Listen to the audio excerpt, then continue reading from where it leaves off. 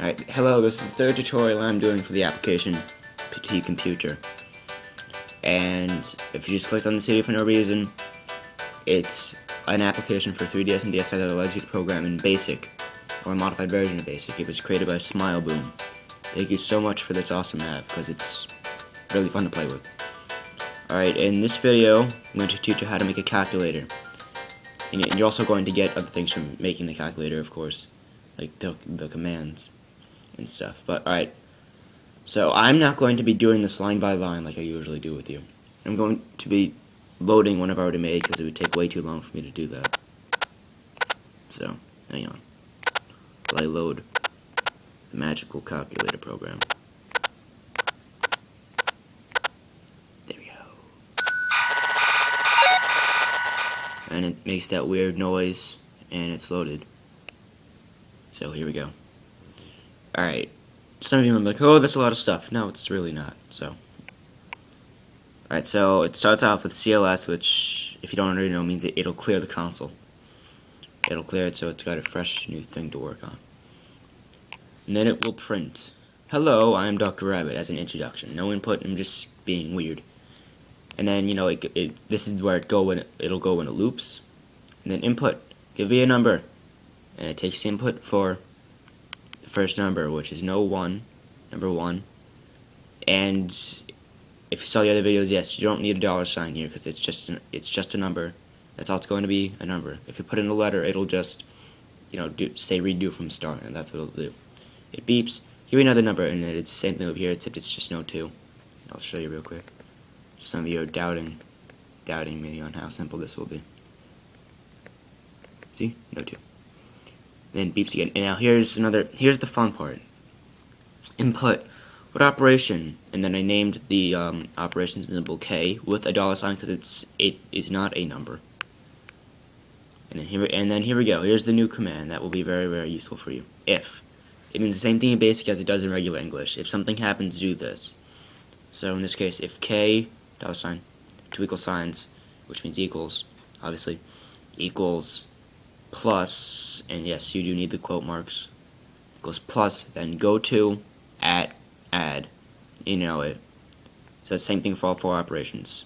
Minus multiplication. This is supposed to be an asterisk. I know my camera doesn't show it, but it's supposed to be an asterisk. And then slash for division. So, you know, here's all, and then it would just go to add, add, um, yeah, add, add, add sub, subtraction, now multiplication, then division, is at the big uh, is at the bottom here. Wow. So you know, here's what we would do to do math. At add sum. Sum is the new is the new variable. Sum equal is going to equal with one equal sign. Number one plus number two, and that's how you do math. Now that's that's what sum equals. And then it's going to print. The sum is sum. See? And yes, the two semicolons and the quote mark. So you don't need another quote mark because you're just putting a variable in with the regular text. And yeah, that's how you do math. And you know, and then go to at n, it's going to go to here, it's going to be again, it's going to loop.